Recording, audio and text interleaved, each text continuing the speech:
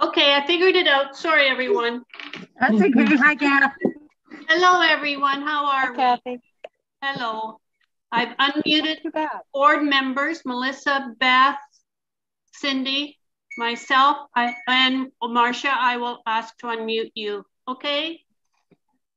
The board members are unmuted. She's asking her. Okay. So Marcia's still.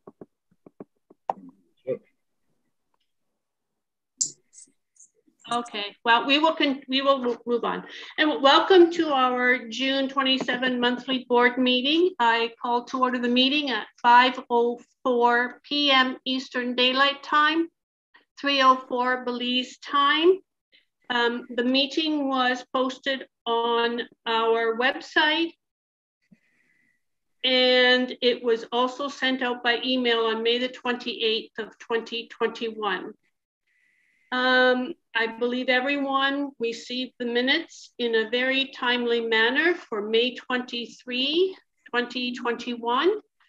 Has everyone taken the time, I believe, to review them? And um, are there any, um, and if you're all in favor, could I have a motion to accept the minutes as presented? Somebody. I motion to accept the minutes as written. This is Cindy. Cindy, and may I have somebody second that? I second it. It's Beth. Okay. All in favor? Aye. Aye. Aye. Okay, so the state of the community is very short. Um, as you know, when you signed into the meeting, you were advised that it would be recorded. And the if you wish to speak, just put your hand up and I will unmute you for the um, non-board members. All I really have to say is that from what I gather, the community is in great shape financially and the green spaces are being well kept. I would also like to mention that an updated video was sent via blast email, and we did receive some very nice positive comments from lot owners. So for those of you who looked at the video, it was very well done. Thank you for all your hard work on that. Um, Beth, Brian, Paul Prescott, and anyone else who was there, and for all the hard work he's continued to do within our community. Okay, so now we will move on to the treasurer report. Cindy? Okay. Um, we had the normal operating expenses for this month. Good news is Excella was able to recover $5,894.55, but that does leave us still leave us 65 lots in arrears with a balance due of $387,446. But with the Excella coming in, we now have liquid assets totaling 100,724 and 16 cents. That's all I've got. Okay, Cindy, that does include a little bit of money that we kind of have in um, dormant status at a Atlantic Bank in Belize that we were unable to get at um, because they want your firstborn and whoever to move that money out. But we will attempt to do that one day. Um, any questions for Cindy regarding the treasurer report? I know we, it sounds like we have a lot of money, but that does, does include the $30,000 that we have in reserve that most homeowner associations, just like condo, condo associations are supposed to have. So just want to make sure everybody understands that. So we have about 70,000. Um, we, we know it's a lot of money sitting there and hopefully we can, we will be spending some of that shortly. Um, so after that little um, recap, any questions for Cindy? I don't see any hands up, Cindy. So we will move on to the committee status updates. And if we could have um, Paul Lauricella. Sure. Um, this month, the EAB only had three requests, um, one from Rennie Rennie, Uh, she asked to extend the extending retaining wall behind her house. And McGregor asked to level the pathway directly behind her house and possibly extend her retaining wall. And both those uh, requests were approved. Um, the Sickle Smiths presented plans for a small building on their adjacent lot and removal of one tree, and that was also approved. That's it. Okay. Thanks very much, Paul. And I, I know the board has asked that when those are completed that they let us know so that a final um, review can be done. I understand correctly? Right. Everything's been passed on to the board. Okay, thank you. Any questions for anybody of the EAB committee? Okay, show, don't see any hands. So let's move on to the gardens and we have Beth Weary. Okay, um, in the greenhouse right now, we have tomatoes and sweet peppers growing. Um, in the big vegetable bed, we have green beans, zucchini, onions, cucumbers, watermelon, romaine lettuce, habanero peppers, broccoli, red potatoes, cilantro, radishes, red lettuce, and up at the upper vegetable garden, we have black beans and okra and some papayas. And we dug out five small little Suriname cherry trees that were sprouted around the big cherry tree. And we have them in little pots and we're waiting till they become uh, transplantable, and then we will put them in the garden. Um, I'd like to thank Paul and Cindy Lauricella for donating two fall avocado trees and a mango. And there was a situation I'd like to address so everybody knows that there was a large zucchini in the vegetable garden that would have been put out on Wednesday for garden shares, but was picked by someone yesterday, unfortunately. And they also allowed their small dog to run through the vegetable garden that is fenced in to keep the animals out. And it also appears that they picked some black beans and also let the dog run through that vegetable garden. So now we will lock the vegetable garden gate. And I just think that that's very unfortunate that we have to do that because a community member feels entitled to go and pick whatever they want whenever they want. That's not how the garden works. And they also cut off some chives, which were not ready to be picked. It was not on the whiteboards. And on the whiteboard in the garden share shed, we have a list of things that community members can go and pick at their free will. It won't be put out for garden share. They can just go and pick. And chives is not one of them, but they felt entitled once again to go and cut them down. So that's all I got. Well, Beth, I'm just going to make a quick comment here. That is just so disrespectful. If it was a community member, which obviously it was, um, I don't understand the mentality behind doing anything like that. However, I do want to say that you there, the produce that you mentioned is just amazing that you have available for people. And you work all work very hard, especially like you said, Beth, Brian, Paul, Cindy, all the rest of you um, that are there. There's no words to explain somebody doing that. Um, do you have any comments from anybody else that's on the call, please? This is Cindy. I mean, the the cutting of the chives is kind of irritating to me because we have tried since I've got here in October. I've tried the herb garden, and the soil here is just not equipped for it. So we've had to raise the garden beds and try this and that. And they were finally starting to take off. And I don't know if the one plant that they severely cut is going to recover. We only had three chive plants to begin with hoping that we could start a whole you know bed where everybody could just go and get what they needed for their their cooking and their pleasure but it's almost futile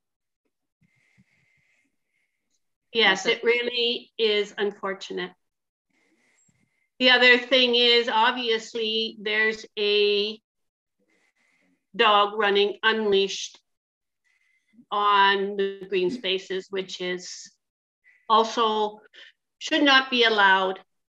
And that's unfortunate as well. This, uh, there, I don't, I wish we could come up with subtle guidelines as to how we can eliminate this, but it just seems the, whatever we do, something else happens. Any comments from anybody else? You can raise your hand. I don't see any hands. Okay, we will move on to the roads and maintenance, and we have Brian.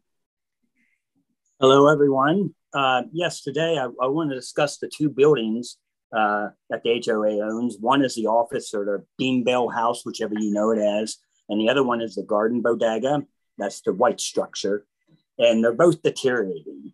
Uh, the bean bale house uh, was not cared for properly under the last uh, people in charge, the last board, and it was not sprayed, and we had uh, termites get in it and uh, destroy the building in the sense of speaking. It's not worth fixing up. I mean, the building does not suit us. We can put up a small structure of concrete that would be fireproof and not capable of being broke into where because this is where we house our solar and our uh, safety equipment, meaning cameras. So you know, I'm going to meet with Menno and have him give us a price on two buildings because at the bodega, what that is is that that building is just made out of road dirt. And then they turned around and they poured this big bond beam on top, solid concrete. So you got like all these thousands of pounds of concrete compressing this road dirt, and and the walls are actually starting to buckle because the facade is starting to, to, you know, explode off in a sense of speaking, and there's really no repairing it. So at the same time, if we could get a small structure up there to house, once again, you know, we have all our expensive equipment. The building we have now is so easy to break into. You know, we put up a concrete structure with a good steel door and and call it done. So I will meet with Menno mm. and have him get me some prices together on this. And I think this coming week, uh, we're going to make a movie to show people what I'm speaking of so people outside of this uh, board meeting right now can see uh, what we're what we're talking about. I think that's a great idea. Do I have comments from anybody else?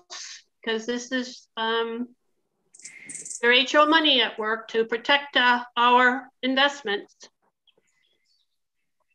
Well, I think building repair. I think that's.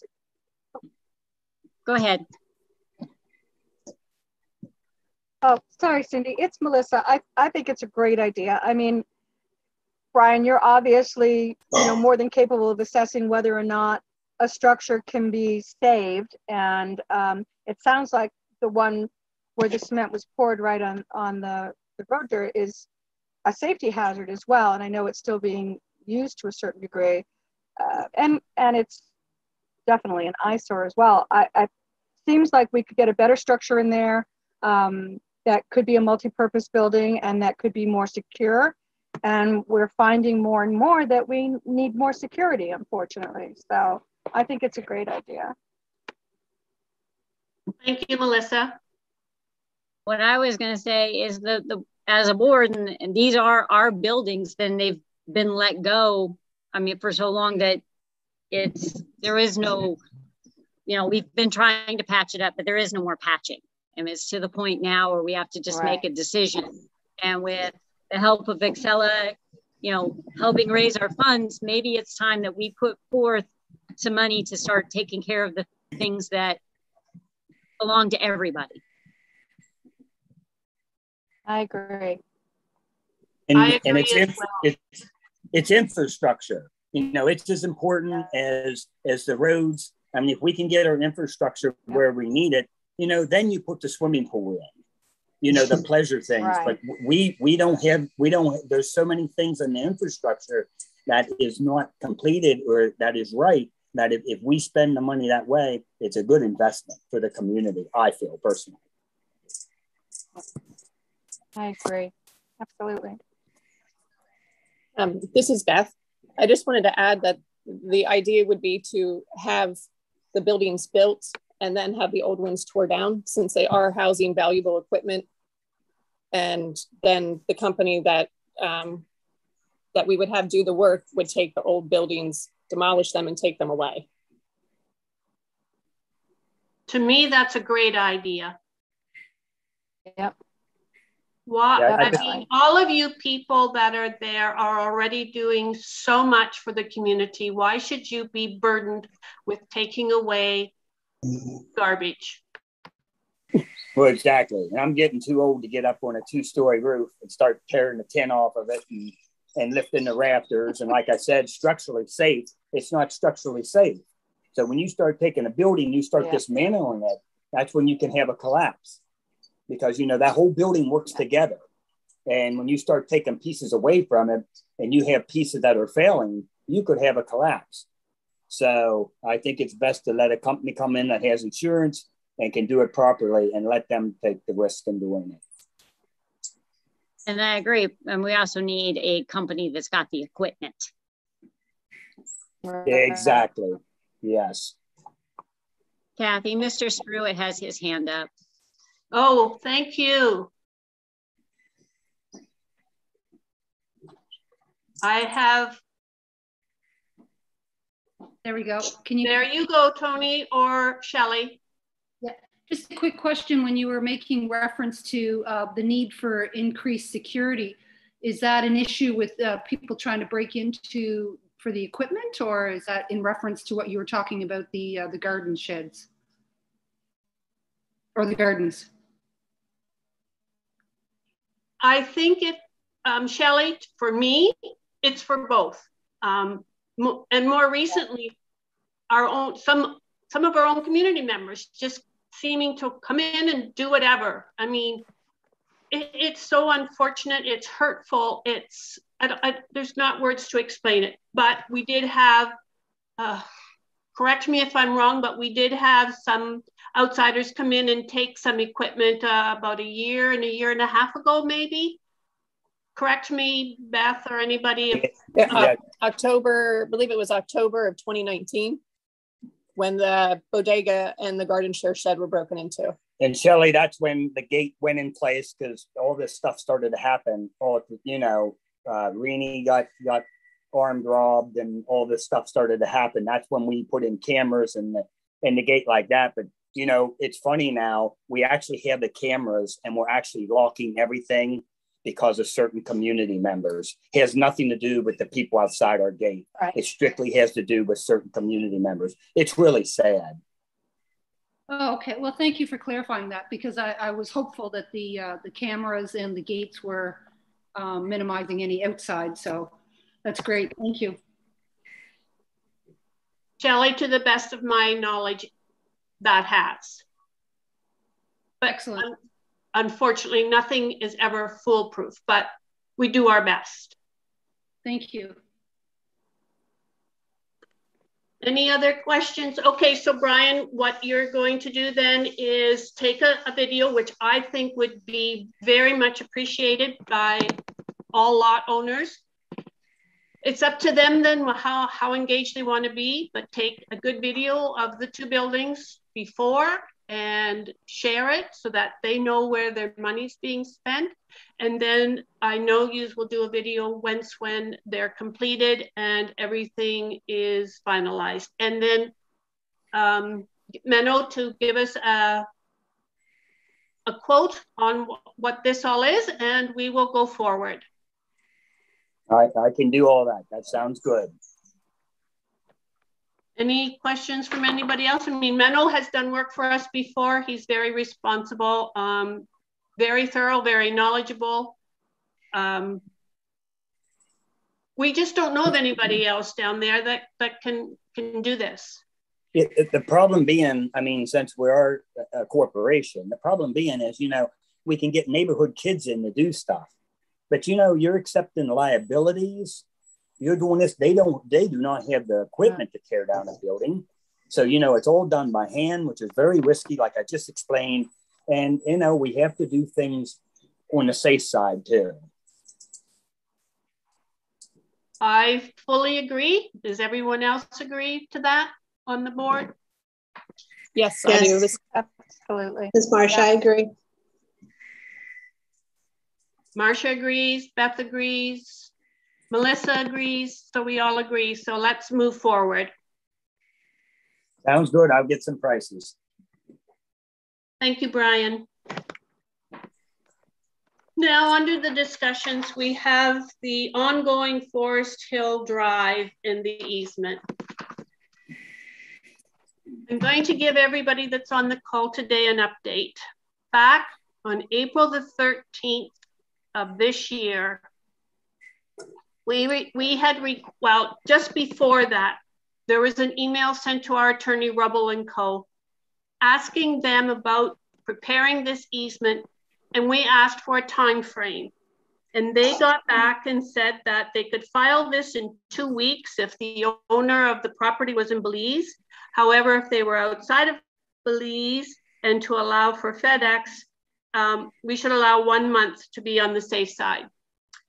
So then on April the 19th, the board sent the trust funds to the attorney to proceed with the document. Um, the board sent an email, a follow-up email on April the 29th. No response was, was received.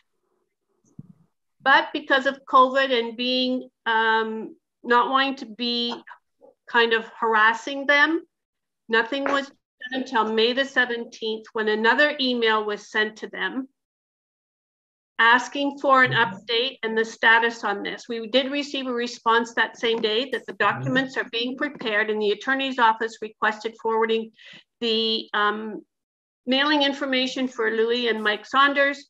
And that info was sent the same day as well. Nothing was heard from them. Um, so on May the 21st, Another email was sent asking if the documents were prepared, if they were going to send them to the board for review before they sent them to Mike Saunders and Louis Tremblay, but we got no response. Again, another follow-up, May 31st, no response. We, we're getting frustrated here as the board. So a following email was sent on June the 3rd and it went to the attorney. And I will read you the email. The BIB Property Owners Association Inc. Board is very disappointed that no draft of the filing notice received. In your email of April 13, 2021, you stated the following. We can file this in two weeks if the property owner is in Belize. It will be 3.5 weeks, three and a half, if documents will be signed, please allow up to one month to be on the safe side. Well, as you can see, this is now two months, nothing. So the board, re so the email went on to say, the board requests that the funds sent for this engagement be returned so we can proceed with other arrangements. When returning the funds, please include the additional $15 incoming wire expense because you're not doing your due diligence here. Please acknowledge receipt of this email and advise when return of payment has been processed. Regards the board. I'm not sure, but they gave no apology, nothing regarding being non-reactive to this request. So they sent the funds back and they were received into our account on June the 16th. So the update here is that we as a board are pursuing some other options, some other attorneys. And trust me, this is our number one priority. We are doing our best, but when you have an attorney who doesn't want to cooperate for whatever reason, it baffles me. But we have got to move forward. This is, as I said, priority, and we've got to move forward quickly because we need that road fixed. Any questions on that? From anybody? Comments? Kathy, it's Melissa. It, it's my understanding that you have um, secured uh, a different attorney to pursue this. Is that correct?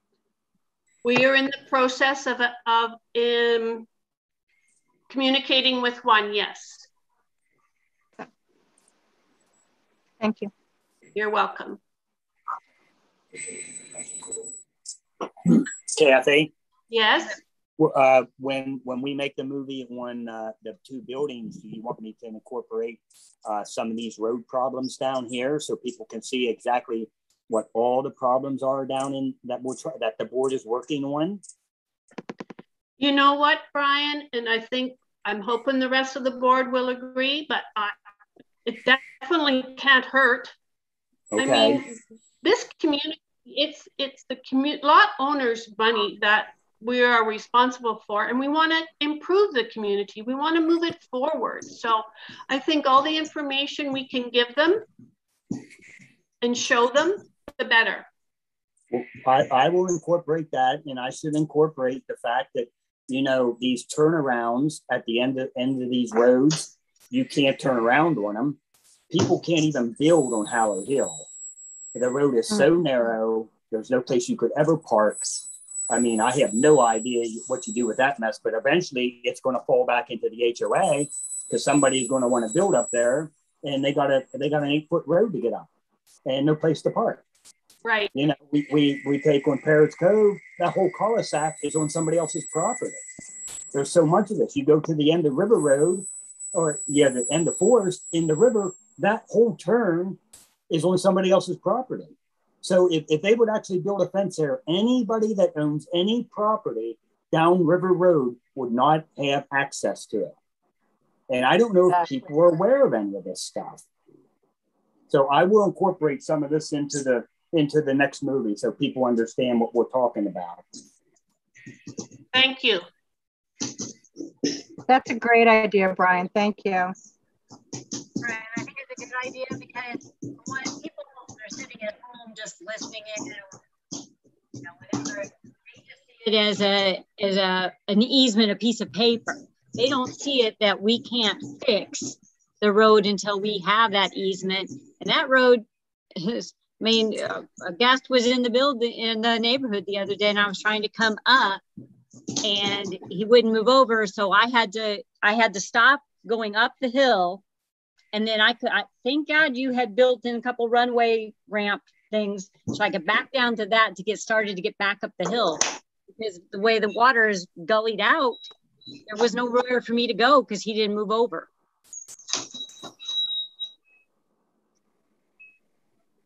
Thank you. Marcia? did you have Yes. Yep. Did you have anything you want to add? I think I should include the Forest uh, River Road as well in the video. Shows how bad it is.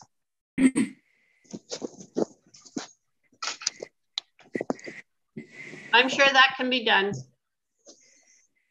I'll leave that up to Brian and Beth and Paul and whomever all is involved, Cindy and Paul. I mean, you guys are, are, are doing great. Just keep up the good work. We support you. Now, before we go on, anything else? Sorry, anything else? Okay, what I wanted to do now is in our last meeting, um, we decided to replace our secretary who could um, do uh, carry the responsibilities of the secretarial job. And we had Marcia come forward and volunteer. And I want to take this time to thank you, Marcia, for putting yourself forward and taking on the responsibility of the secretarial position. We really appreciate that. Thank you. I'm glad to be a part of it. Yes. Thank you very much. All right. Is there anything else anybody wanted to discuss?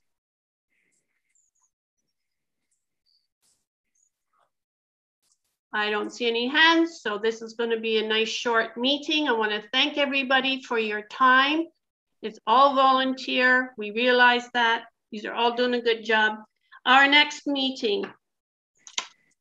When would that be a good time? Halby, may I put forward July 18? I'm not going to be around Yeah, that- uh, on the 18th until August 1st. Going So- back to the States. Okay. Do we want to move it to August? Is there any, there's nothing real pressing. We'll keep everybody updated or send a blast email if something moves forward very quickly regarding Forest Hill Drive. And Brian, if you get the quotes in, we can have, we can do that through the board. Um, is everyone in agreement to maybe go into August the 8th? Yeah, That's fine. I think that's fine. Okay, It works for us. pardon? It's, it's Cindy. It works for us. Okay, Marcia? Yes, that's great. Okay, so we will pencil in August the 8th at 5 p.m. Eastern Daylight Time, 3 p.m. Belize time. Okay, Okay, may I have someone make a motion to adjourn the meeting? I make a motion to adjourn the meeting. May I have somebody second? Ooh, I'll second. Thank you, Marcia. All in favor? Aye. Aye. Aye. Okay, thanks, everybody. Have a great rest of your you. day. Thank you. Bye, guys. Yeah, Bye, bye-bye. guys. Bye. Good night.